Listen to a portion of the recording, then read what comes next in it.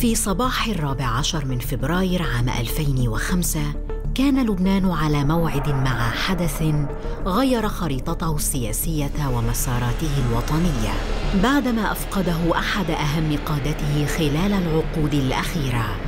هو رفيق الحريري رئيس وزراء لبنان الأسبق. رجل السياسة والاقتصاد. ومهندس إعادة إعمار لبنان في أعقاب الحرب الأهلية الذي اغتيل في تفجير شاحنة ملغومة.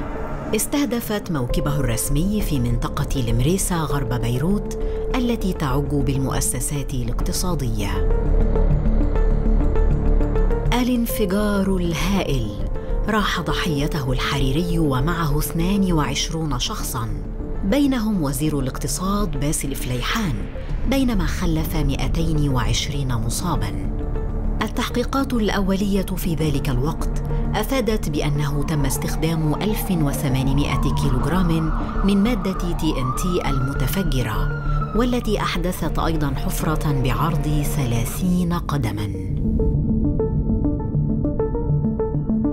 اغتيال رفيق الحريري شكل نقطة تحول في لبنان.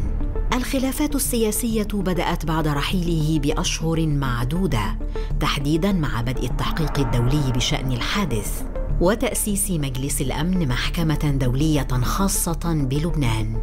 فالمحكمة ذاتها شكلت موضع خلاف داخلي بين الفرقاء السياسيين.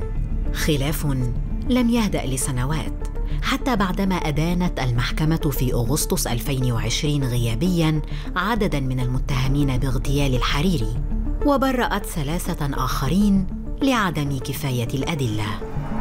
ثورة الأرز كانت إحدى أبرز تداعيات اغتيال رفيق الحريري والتي أعقبها سحب سوريا لقواتها من بيروت وصيدا وطرابلس في السادس والعشرين من إبريل عام 2005 أي بعد شهرين فقط من اغتيال الحريري.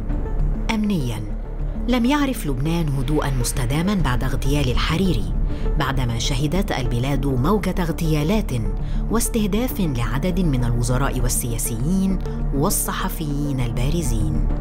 موالاة ومعارضة مصطلحات فرضت نفسها من جديد بعد اغتيال الحريري وانقسام سياسي حمل معه انقسامات طائفية حادة وبلغ ذروته في عام 2008 ما أعاد إلى الأذهان والنفوس المخاوف من نذر تجدد الحرب الأهلية.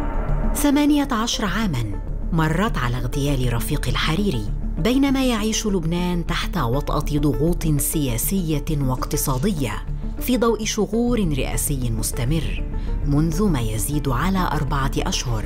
وتزايد معاناة المواطن اللبناني جراء أزمة اقتصادية ضاغطة.